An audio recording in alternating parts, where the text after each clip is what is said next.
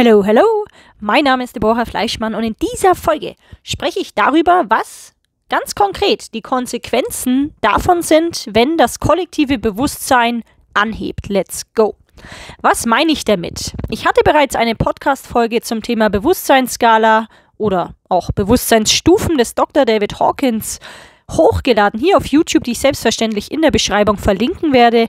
Gerne und herzlich lade ich dich natürlich dazu ein, prinzipiell meine Playlist Levels of Consciousness, ja, Spiral Dynamics und so weiter und so fort anzuhören. Da hatte ich einige Podcast-Folgen hochgeladen mit eben genau dieser Thematik, nämlich dass die Menschheit kollektiv in der Force-Energie schwingt und eben nicht in der Power-Energie. Und gerade mal nur ein paar wenige Individuen weltweit in der Power-Energie sind und somit die Menschheit insofern ausgleichen energetisch, als sie sich eben nicht selbst zerstört. Wobei wir heutzutage wieder näher denn je dran sind, den bekannten roten Knopf zu drücken, dass uns alles um die Luft jagt und Menschen sterben, ja, der Planet stirbt und so weiter und so fort. Stichwort Atombombe, dies, das, du weißt Bescheid.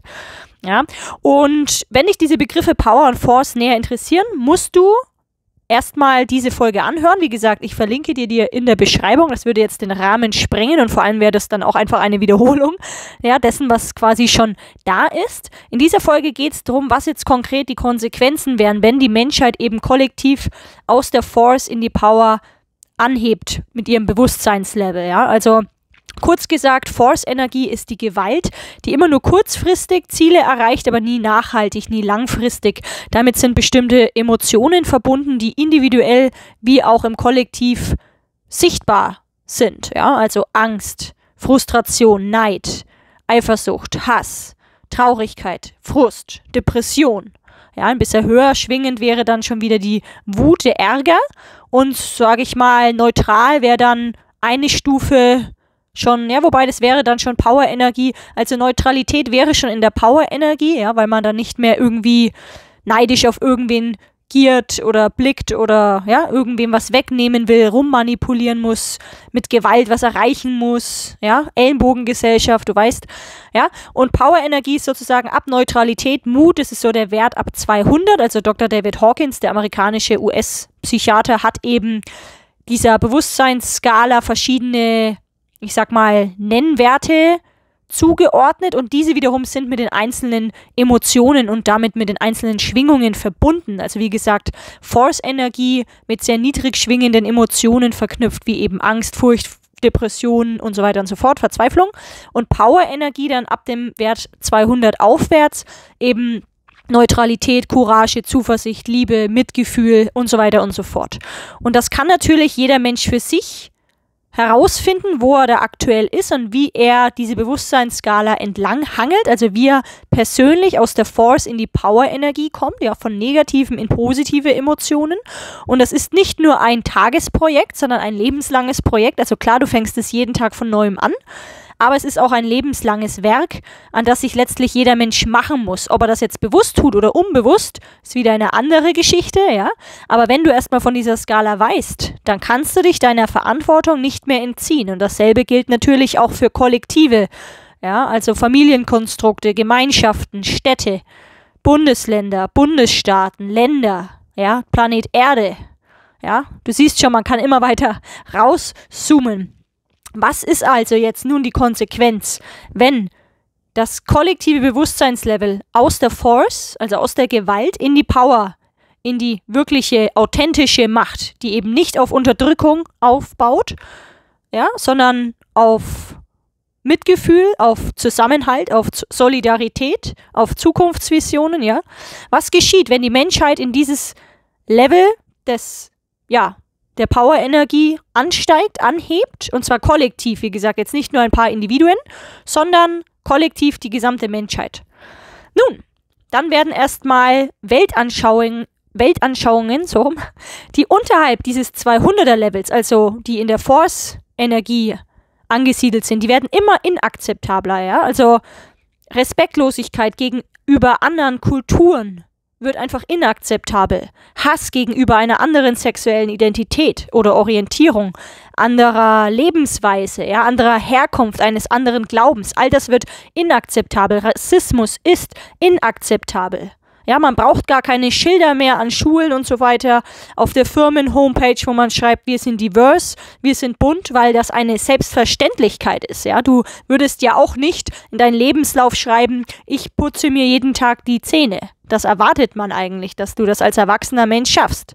Ja, und genauso musst du es dir vorstellen. Respektlosigkeit, Hate Speech, Ausgrenzung und Rassismus all diese Dinge, Diskriminierung, ja, all das ist einfach inakzeptabel. Auch Umweltverschmutzung ist inakzeptabel, ja, weil die Umweltbewegung natürlich zunehmend an Einfluss gewinnt. Wir merken das im Rahmen von Klimaaktivisten, wir merken das an zunehmenden Debatten, die sich um diese Thematik drehen.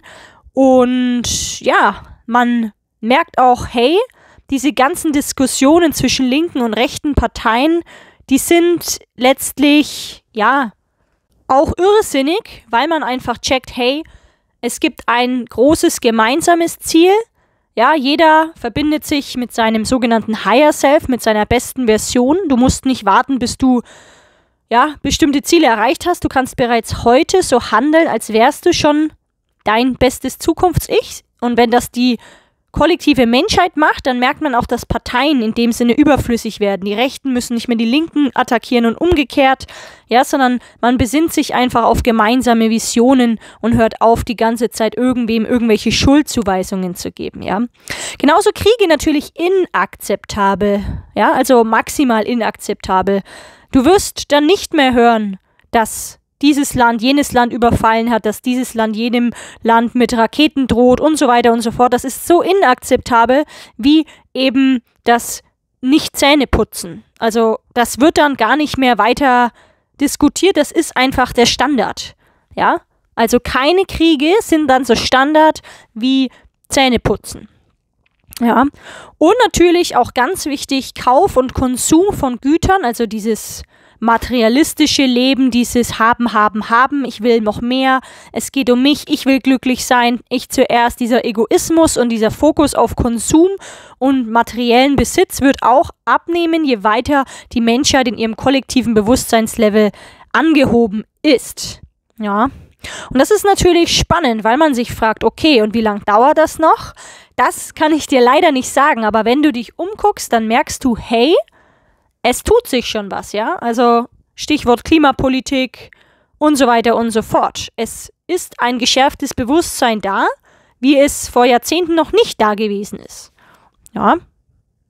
Und so sehr uns manchmal eventuell bestimmte Debatten und Themen in den Medien nerven, so sind sie dennoch, wenn man wieder rauszoomt und auf die Metaebene geht, ein Teil dieses Bewusstseinsanstiegs, der eben Teil eines Prozesses ist, der sowieso nicht mehr aufzuhalten ist. Deswegen lade ich dich auch an dieser Stelle dazu herzlichst ein, immer wieder in die Beobachterrolle zu gehen, die Ereignisse des Lebens nicht so nah an dich heranzulassen, sondern einfach als Beobachter wie von einem Kinofilm zu gucken und zu sagen, aha, interessant.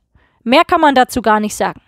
In diesem Sinne, viel Spaß weiterhin mit der Bewusstseinsskala von Dr. David Hawkins. Wie gesagt, ich werde die verlinken in der Beschreibung, damit du, falls du noch nicht weißt, was es damit auf sich hat, dir davon ein Bild machen kannst. Keep it in Villa.